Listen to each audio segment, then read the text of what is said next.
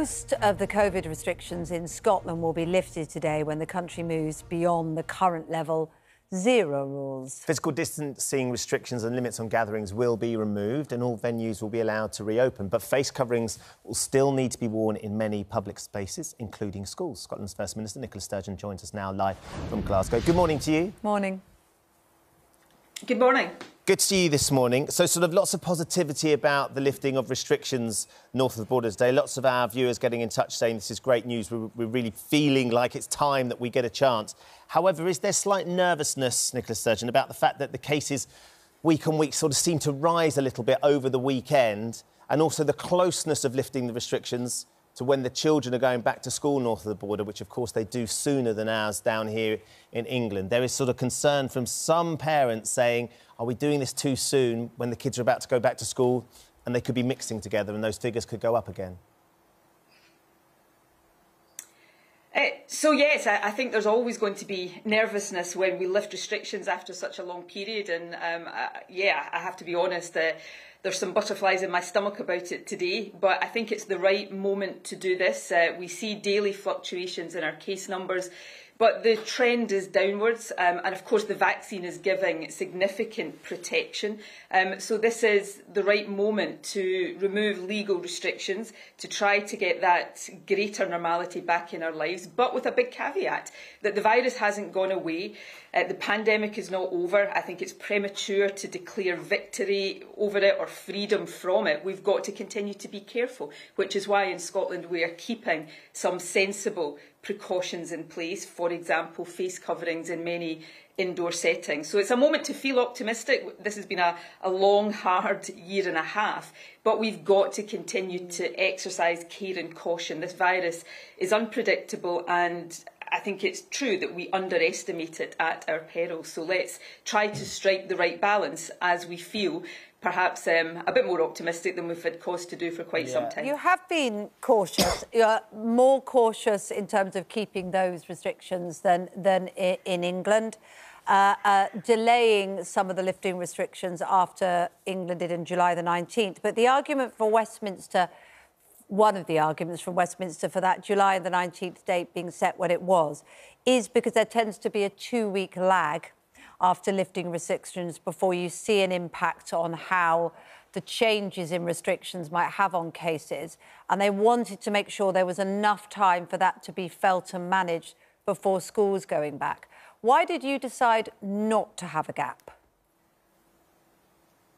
Well, we have had a gap. So on the 19th of July, when England lifted all legal restrictions, we had a further easing of restrictions then. So we've done it more gradually, but there has been change right throughout that period. Um, on the 19th of July, we simply didn't have the the final lifting of all restrictions. So it's not just about being more cautious; it's about doing it at a slower but also steadier pace. So we uh, have had the two weeks uh, since, or the, the, week since the 19th of July now, to see the impact on our cases. What, what I think we've all got to recognise in whatever country, whatever part of the world, is that as soon as we lift any restrictions, we give the virus more opportunities to spread because uh, we are coming together more than would have previously been the case. So we've got to factor that into all of our thinking. We do lots of forward modelling to look at the different uh, impacts that changes might have. But of course, the big change now is the vaccine. We should be very positive about that, although also realistic that the vaccine doesn't completely stop people getting the virus, but we do see the evidence that it is reducing the impact of serious health harm from the virus. So all of these things are positive, but I say again, you know, we we must recognise that, firstly, this is a global pandemic. Uh, none of us will be out of it until the whole world is out of it. So the virus is still there. We've got to treat it with care and caution. So I would say to people across Scotland today, as we see the remainder of these legal restrictions lift, continue to be sensible. Wear your face coverings, particularly indoors. Stay outdoors as much as possible. Ventilate rooms if you're inside. And although the law doesn't demand it, because we can't keep legal restrictions on people's lives in place forever, it still is sensible if you're in a place with people from other households. If you can, keep a safe distance from them. All of these sensible steps and precautions yeah. will help us make this move today, but hopefully keep cases under control. So with the with the face mask still being worn in public public transport, and I know that I think uh, students and schools are going to have to wear them for the first six weeks of term. Will you be looking at the data and deciding whether they will stay in place those restrictions beyond that if there is a surge in cases? Uh, of course, you know, I, again, a bit like not declaring victory over this virus, I, I, with every fibre of my being, I hope that the restrictions being lifted today never ever have to be reimposed.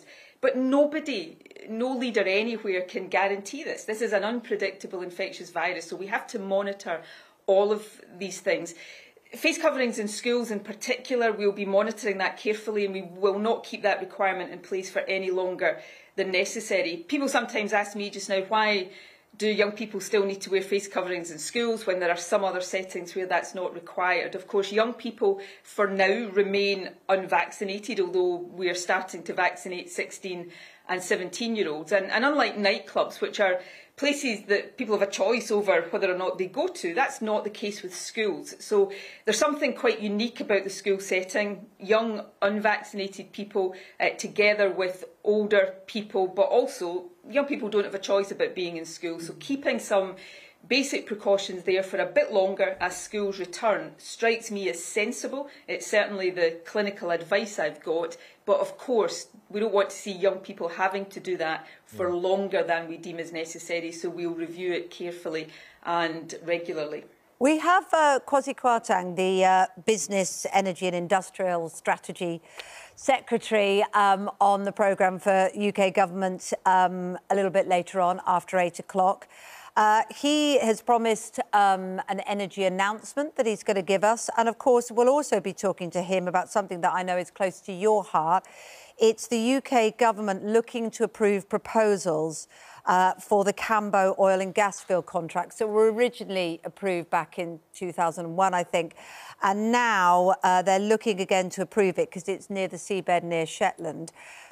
Do you feel yeah. comfortable knowing that you're hosting the huge, you know, COP26 conference in Glasgow in November and all that you have talked about, about taking seriously climate change. We're looking at the situation in Greece, which many attribute directly to climate change problems, fires causing devastation there, amongst all sorts of other problems around the world and feel like you want to campaign against that, as Keir Starmer has for the approval of it. What's your position? What would you like us to pass on to Kwasi Kwarteng about your position over that?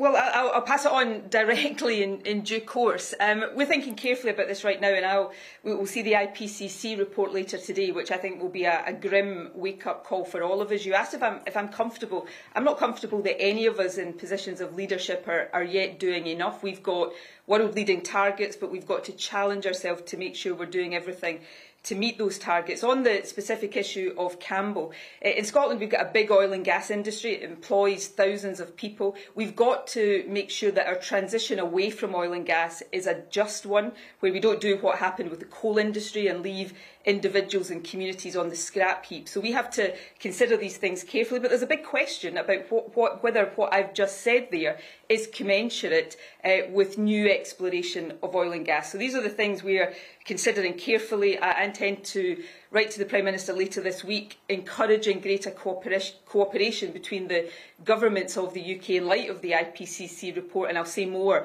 about our position on the Cambo issue at that time. What's your view on it, though? What's your because uh, obviously all governments have to look at economy and industry and the right thing for the planet. That, that's the balance every, everyone has to make. And have you been able to form a view? I, I know there's, there's a lot of reports and talk of you possibly forming a coalition with the Scottish Greens that I don't think they would be very happy about it, would they? So is, is politics also part of this?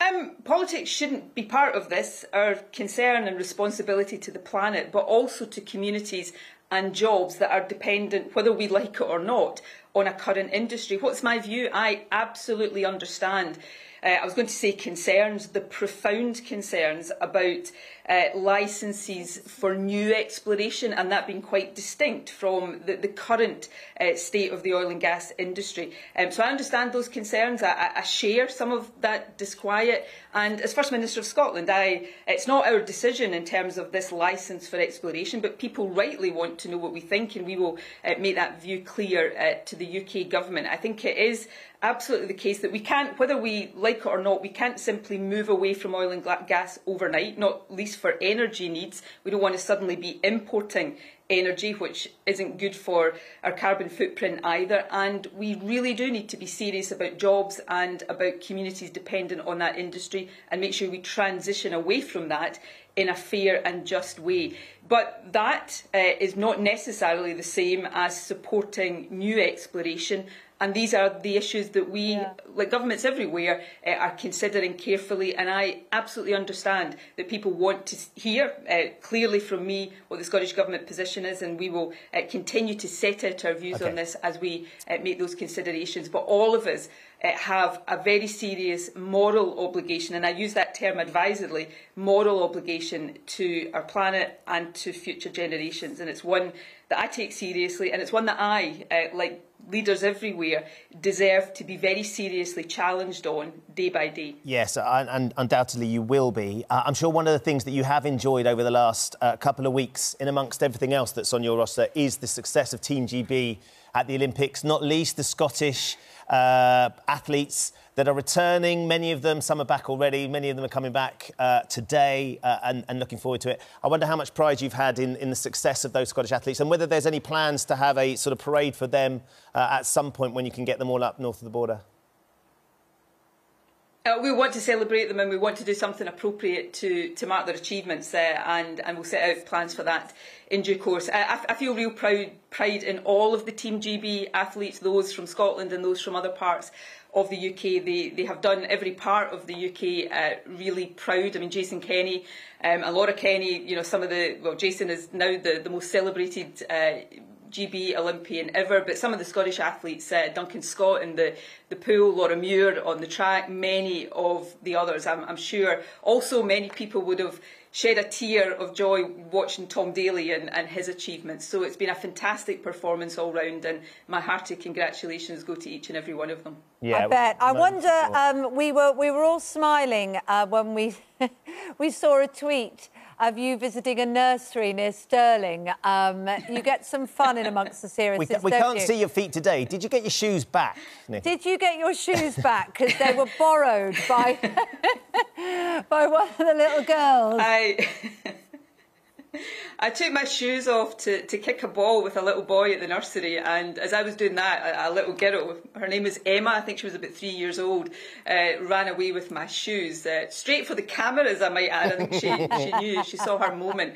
But eventually I wrested my shoes back from her, but I, I think I spotted a, a First Minister of the future in little Emma. Oh, yeah, she knows, knows how to take a wants. moment and yeah, run with exactly. it, doesn't yes. she? And Nicola Sturgeon, thanks for joining us this morning. Thank you.